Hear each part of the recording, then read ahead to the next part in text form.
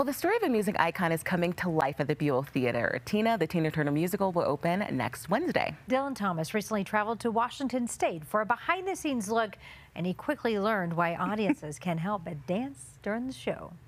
River deep, mountain high. We traveled here to Spokane, Washington to get an advance preview of Tina, the Tina Turner musical, before it heads east to the Buell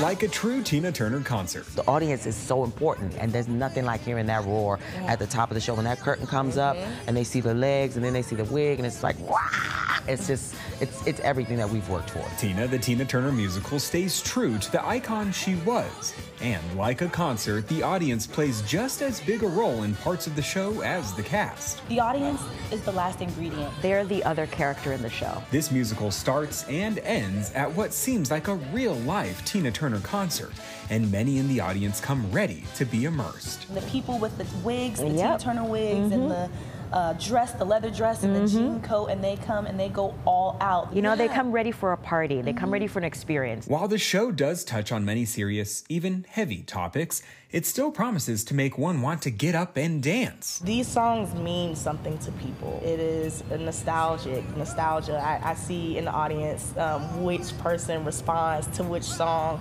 and you know they can think of the memory of where they were when they heard the song. And while the cast, especially those portraying Tina, are dancing and singing on stage nearly non-stop throughout the show, they say it's the audience that gives them the fuel. A performer's heart is that connection with the audience. The best part is just seeing the audience enjoying what we're doing, everyone in the cast. We love what we're doing. We're here for a reason, and it's just seeing the audience having fun, going on big wheel keep on turning on dancing with us. There's no better feeling when you know that we're giving the audience exactly what they came for. Truly. Um, we're honoring a legend. Because it has so much energy, lights, and the crowd and the costumes, and it's so colorful, and you just enjoy it. Tina, the Tina Turner musical, will be rolling on the river to Colorado October 18th through the 29th, playing at the Buell. For more information on tickets, visit our website, cbscolorado.com. In Spokane, Washington, I'm Dylan Thomas. Karen, I absolutely want to see that one. That one looks amazing. I know. Absolutely amazing. Great, yeah, and I'm surprised Dylan didn't bust out his dance moves for this one. But I know, yeah. for sure.